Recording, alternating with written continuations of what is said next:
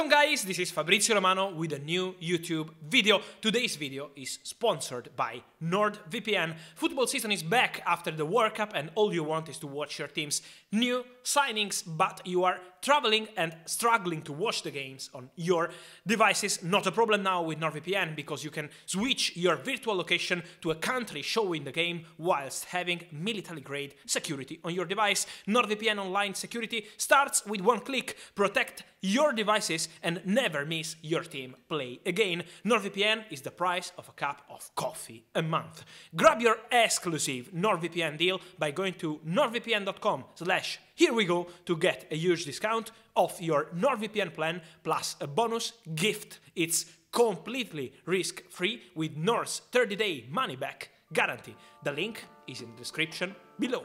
Here we go.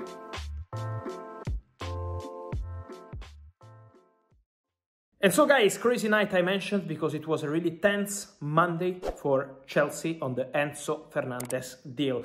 Tense Monday, and now it's time to understand what happens on the deadline day because Chelsea wanted to get the deal almost done. I say almost because, of course, they were not expecting to sign the documents and complete the medicals on Monday, but they wanted to have the final agreement with Benfica on Monday night. And then what happened after a really positive day of conversations between Chelsea, agents, and Benfica? They were waiting for the final step, the green light from Benfica president Manuel Rui Costa. And during the night, still no green light from Benfica. Manuel Rui Costa, Benfica president, after meeting with Chelsea and discussing with Chelsea about the deal through intermediaries too, of course, during Monday, uh, what happened is that during the night he had a meeting, an internal meeting with uh, other Benfica people to decide, and he didn't approve the deal yet. I say yet because conversations will continue on the deadline day between Chelsea and Benfica to understand if there is a way to get this Enzo Fernandez deal done. Is more than four weeks negotiating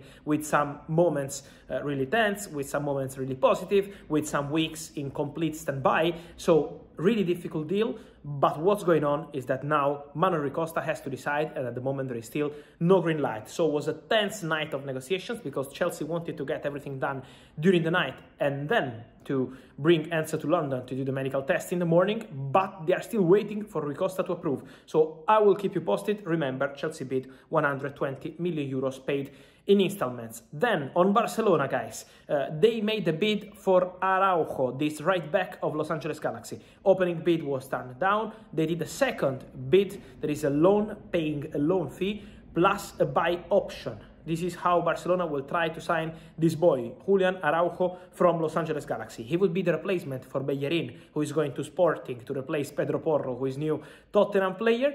And so what's happening? That now Los Angeles Galaxy have to decide. Araujo is pushing because he wants to go to Barcelona, but Los Angeles Galaxy want uh, a permanent transfer, or at the moment it's really difficult to approve the deal on loan with just a buy option, not mandatory. So keep an eye on Araujo for this deadline day. Barcelona already wanted him in the summer deadline day and that didn't happen. On Sofian Amrabat, I see many rumors, many of you asking me, because it's true that Barcelona had some conversations and are interested in Amrabat. They love the player. They would love to sign Amrabat on loan with buy option. But the reality is that Fiorentina at the moment, then we will follow during the day, but the first reaction from Fiorentina is that they have no intention to let the player leave on loan because they consider him a player for 40 million euros. So to accept a loan deal would be really complicated on deadline day. We will follow that one, but at the moment looks really difficult also because Fiorentina president Commisso is big fan of Amrabat and when some clubs approach Fiorentina they always ask it for 35 40 million euros. And then guys is really important to mention Ibrahima Bamba this talented